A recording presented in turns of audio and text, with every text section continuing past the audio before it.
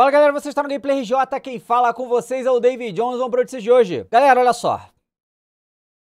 Eu não sei se eu comemoro ou se eu fico maluco com isso aqui. Balatro, sim, ele mesmo.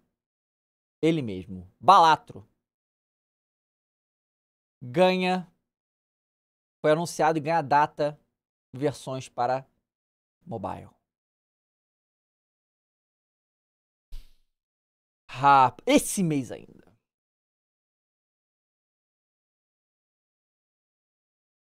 Minha Nossa Senhora. Vamos lá. Como se não bastasse ter anunciado um crossover com várias franquias de peso, como The Witcher e Castlevania, a. Castlevania não, não foi Vampire Survivor? Bom, a Playstack, que é, né, a do Balatro, compartilhou nessa quinta-feira, ontem, que Balatro chegará dia 26 de setembro para iOS e Android. Rapaz, que loucura. Galera. Então assim, galera, olha, eu não sei se eu recomendo isso para vocês, tá bom? Eu eu acho que pela primeira vez em muitos anos, tá? Eu ganhei aí um contender para disputar com o meu tempo do Hearthstone no tablet. Deve ser para tablet, né? Eu tô imaginando iOS.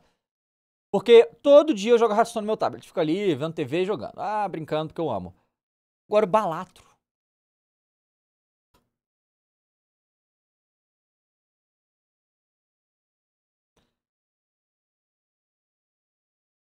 Você considera aí o risco de baixar esse negócio do seu celular e no teu tablet, tá?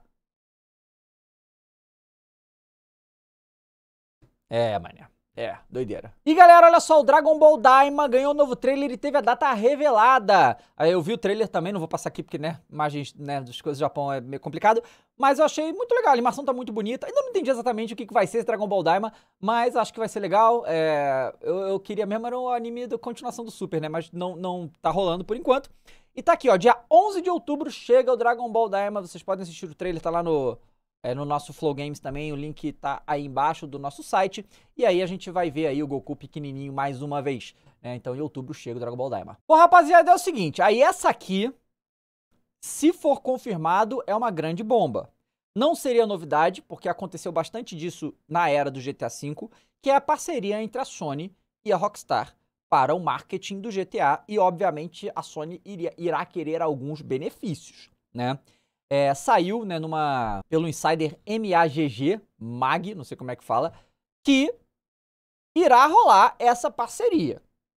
Vamos lá. O novo relatório sugere que a Sony garantiu direitos exclusivos para comercializar o GTA 6. Entenda, esse direito exclusivo para comercializar e tal não tem nada a ver com a disponibilidade do jogo. Então o jogo continuará é, vindo normalmente para as outras plataformas que ele vai vir. Não é exclusividade, tá?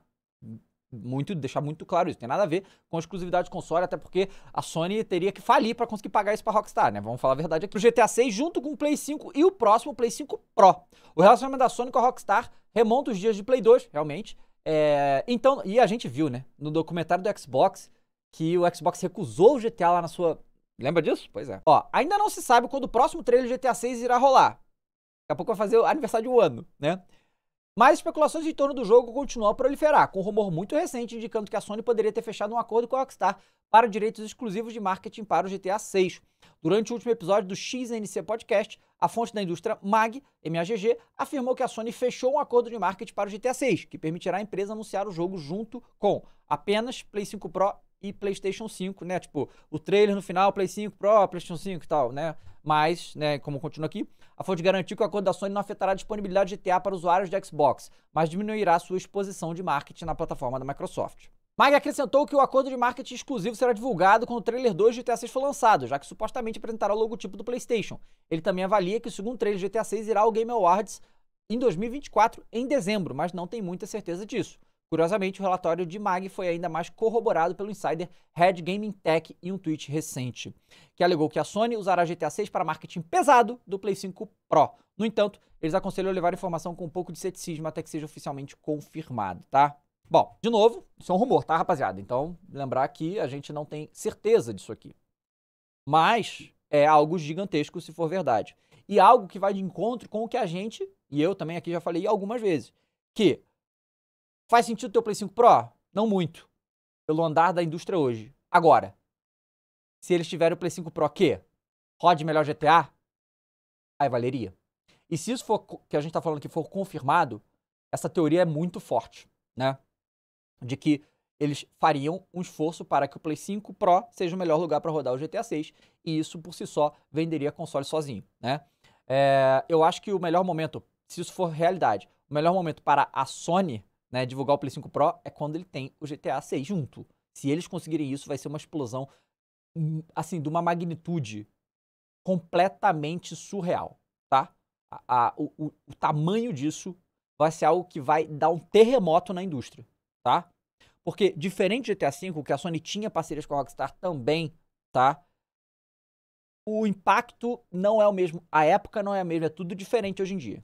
Então, se isso aí acontecer, vai ser um bagulho de maluco. E aí, se a Sony conseguir, vamos revelar o Play 5 Pro, e na revelação do Play 5 Pro, eles me mostram o trailer do GTA 6 rodando no Play 5 Pro, esquece. Esquece. Vai ser um negócio. Não consigo nem dimensionar o tamanho disso. Né? vai ser um bagulho de maluco. Vamos ver se isso aí vai rolar. Bom, galera, finalizar por aqui. Muito obrigado a todo mundo que assistiu. Se vocês gostaram, esquece de inscrever. Clica no gostei, comenta. Até a próxima com mais um jogo, mais um vídeo. Valeu!